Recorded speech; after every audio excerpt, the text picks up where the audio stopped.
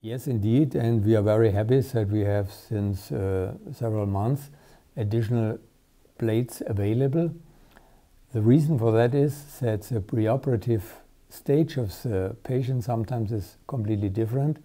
For example, when you have to convert a proximal row carpectomy in total wrist fusion, it's very helpful when you have a very short plate where you also can spare the CMC joint.